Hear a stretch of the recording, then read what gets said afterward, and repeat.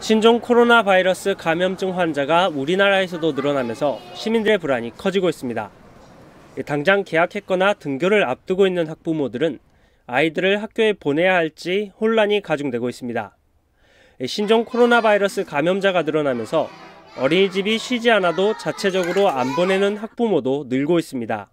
그 다른 사람들이 다 저같은지 모르겠는데 저는 저번 주에는 어린이집도 안 보냈거든요. 지금 나가보면은 여기 막 진짜 마스크 안 하고 다니는 사람들이 더 많거든요.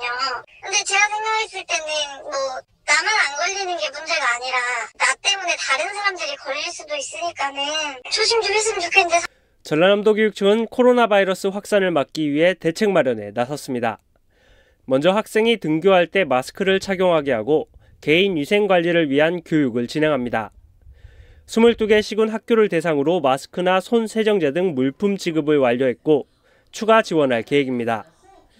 교육부 방침에 따라 중국 후베이성을 방문한 학생이나 교직원에게 증상 여부에 관계없이 등교를 중지하고 출석을 인정하도록 했습니다. 또 졸업식도 학급 단위로 진행하는 등 학생들이 모이는 행사를 자제하도록 할 방침입니다. 어, 본청하고 어, 지역교육청에 비상대책반을 운영해서 상황을 관리토록 하고 있습니다.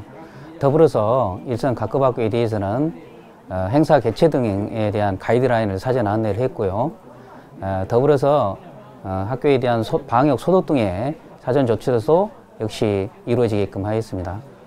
어, 또한 어, 학생들에 대해서는 마스크를 착용하고 손 씻기 등 위생교육을 강화토록 최근 전라북도에서 확진 환자가 발생해 인근 지자체 모든 학교에 당분간 휴업 조치가 내려진 상태.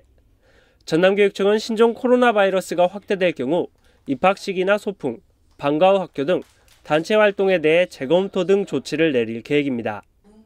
헬로티비 뉴스 박종호입니다.